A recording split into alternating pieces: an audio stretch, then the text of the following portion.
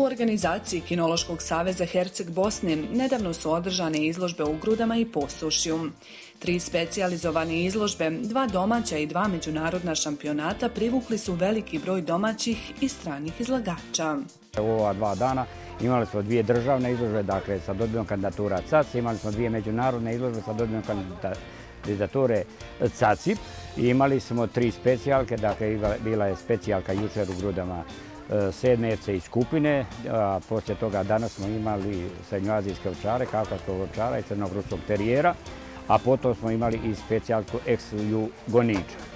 Što se tiče izložbi, na specijalkama je pristupilo neđe po 50 pasa, 48 do 52, 3, a što se tiče ovih e, cac izložbi i caciba, možemo kazati da su za ova četiri dana ocjenjeno neđe oko 1300 pasa.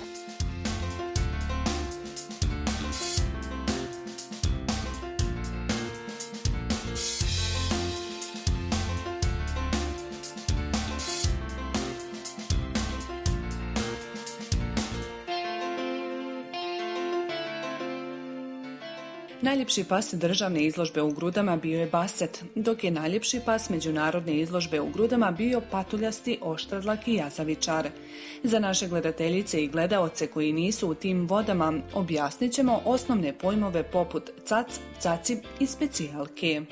Cac je državna izložba gdje se dodjeljuje kandidature. I isto tako se i na specijalkama mogu dodjeljiva kandidature, međutim kad se rade specijalka onda je to detaljan opis, pregled psa i tako dalje ovaj, što znači dosta za izlagača. Ovaj, tu se radi sporije, e, preciznije i tako dalje. Što se tiče ovaj, međunarodnih izložbi, to je još jedna kategorija više gdje dobivaju međunarodne šampionate.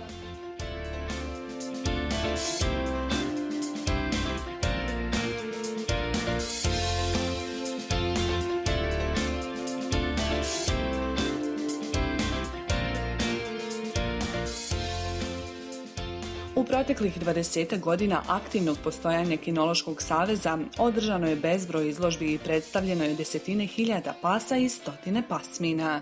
Konkretno, ovogodišnji cac u posušju osvojio je australski ovčar, dok je cacip osvojio patuljasti šnaucer. Aktivni eh, rad Kinološkog saveza Herceg Bosne počima 12. veljače 1996. godine.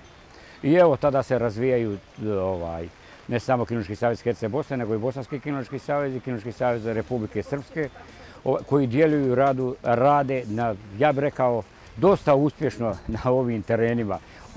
Kaka na je ustroj države, čini mi se da je kinologija dosta dobro ustrojena po tim pitanjima.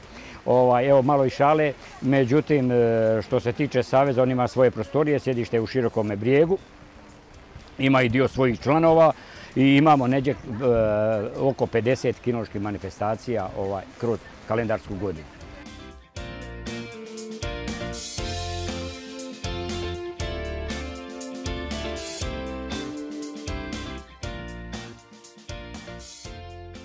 Pored brojnih aktivnosti Kinološkog saveza, izdvojit ćemo jednu bitnu i nama blisku aktivnost – To je promocija autohtonih pasmina. Tornjaka promoviramo još iz 1976. godine kada je zapisan kronici Boske katoličke crkve sa sjedištem u Đakovu.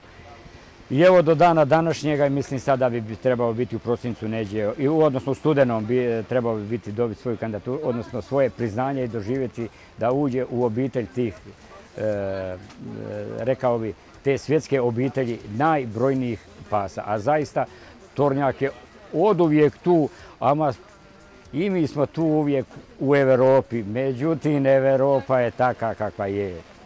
I to je ista je stvar i sa našim pasminama i sa našim ostalim domaćim životinjama i slične stvari. Dakle, morate se pokoriti i evo, pokoravamo se čitavi život dok nećemo ne znamo. Pored tornjaka radi se na promociji drugih autohtonih pasmina kao što su bosanski oštrdlaki gonič barak i posavski gonič. Želimo im svu sreću u daljem radu, a vas, dragi gledaoci, ostavljamo da još malo uživate u kadrovima sa izložbi u Hercegovini.